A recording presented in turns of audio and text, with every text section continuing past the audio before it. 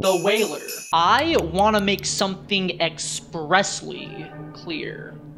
In this universe, whales is power lines. That is the only commentary you're gonna get from me about this album. Fuck you. Live at Bush Hall. Live at Bush Hall is a delicious, mouth-watering sneak peek into the future of BCNR. A sound that is still very much in development, but is extremely promising nonetheless. All I'm gonna say is, this old girl is vibrating with anticipation for Black Country New Road's next studio record. The land is inhospitable and so are we. Not really a Mitski head, but I found the land is inhospitable and so are we kind of neat. It still has its problems, but god damn, is she an absolute master of her craft. You can't deny that when she comes in with that my love mine, all mine, all mine, that the sway is irresistible. Oh my god! Damn! These are some boogie woogie Australians right here. I really like the feet on this album cover. Toes so voluptuous that a girl might start acting up. She might start acting a fool if this guy doesn't put up his stompers. Guts! Olivia Rodrigo came through with her sophomore record Guts this year, which expands and refines on all the stuff that made Sour so iconic. If you're a Rodrigo head, you're gonna go nuts for this one. Going, going, gone. Hemlock Springs is one of the most promising rising stars, at least to me. Everything that she has been putting out thus far is killer, and this EP is no exception. All I'm saying is, I got my eye on you, Mrs. Springs. That feels good. After Jessie Ware's iconic album, What's Your Pleasure, she has done it she has once again done it again and put out another record full of disco bangers that just knocks you on your ass with their sick beats. That feels good. A love letter to all the gay people that call themselves Jessie heads. This is the fifth gayest record of the year. Fanfare. And talking about gay people, Dorian Electra their third studio record, which is an exploration of the cult of fandom and art under capitalism, that features the same iconic Dorian Electra production. This is the fourth gayest record of 2023. This album is full of bangers. Shout out Old Money Bitch, shout out Jeez Louise, uh, shout out uh, Cops and Robbers, Shout out Johnny Johnny Johnny. Shout out locals. Uh, shout out, shout out, uh, shout out. Yeah, it's uh, a good uh, time. Hell Mode. Hell Mode is another really kick-ass Jeff Rosenstock record, all about overcoming anxiety and creating a future that is worthwhile, not only for the world, but for yourself. Can't wait for the ska version to drop. Struggler. Like I guessed, Genesis Owusu is like a little roach or something? That's like trying to withstand the wrath of a god that's trying to squish them?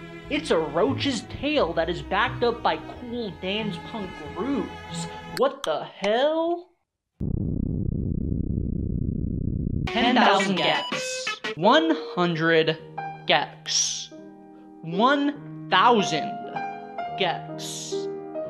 10,000 gecs. When is it gonna be enough? Is it ever gonna be enough? Because this simply isn't sustainable. I am done with this exponential BS.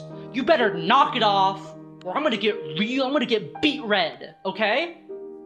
This is not okay. Dylan, Laura, I'm done with you. Video's over. Let's hope heteros fail, learn, and retire. Let's hope heteros fail, learn, and retire is easily the cuntiest piece of music of 2023, and it earns that title so effortlessly. A manic little EP that is exactly who I am IRL that is full of insane genre mixes and phenomenal production that embodies the spirit of hyperpop immaculately. This is the third gayest record of the year. This is why. This is why is easily Paramore's best record, and it's not even a competition. It is the culmination of all the anxiety that we have collectively endured over the past couple years. Anxiety that Paramore plays heavily into. It is a bold step forward for the band that Paramore executes flawlessly. Did, you know, know that there's, there's a tunnel under Ocean Boulevard? This record is unbelievably gorgeous.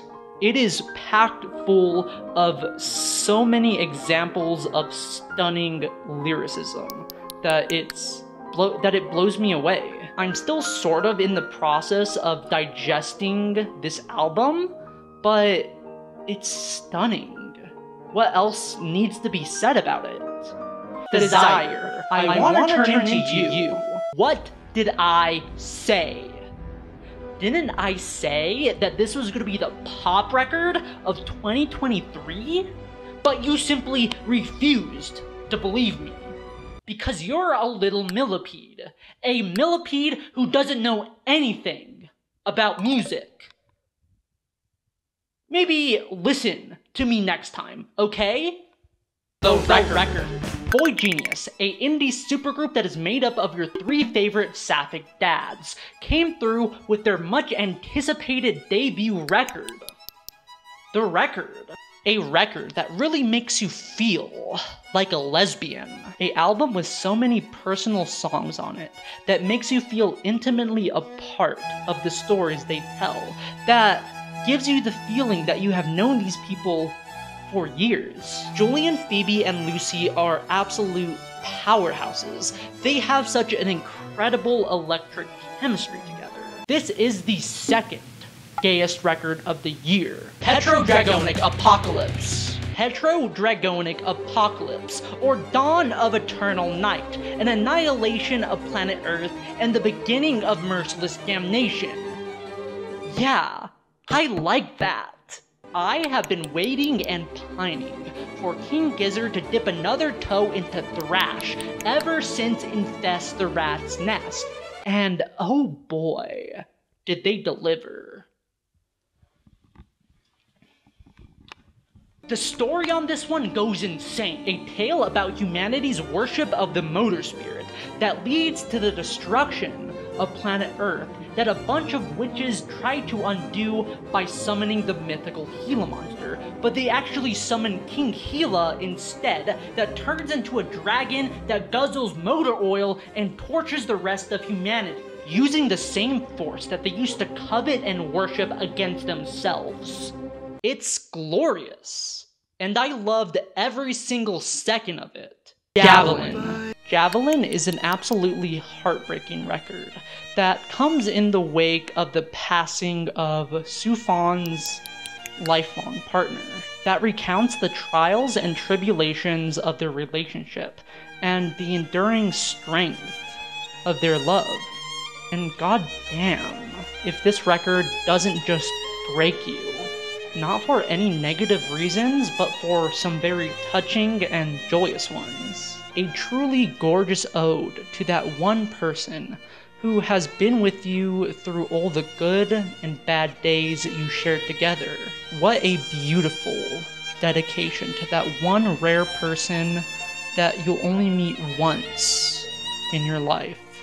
Saved? Saved is a fascinating exploration of this ancient Pentecostal sermon delivered by Reverend Kristin Michael Hayter, a record that details Kristin Hayter's journey towards internal salvation in the wake of everything that she has endured, that uses Christianity, something that she very clearly has a very complicated relationship with, as a means of processing and healing. After experiencing the soul crushing loneliness of the Lingua Ignota records, I am happy that Kristin Hayter is in a place to make music such as this.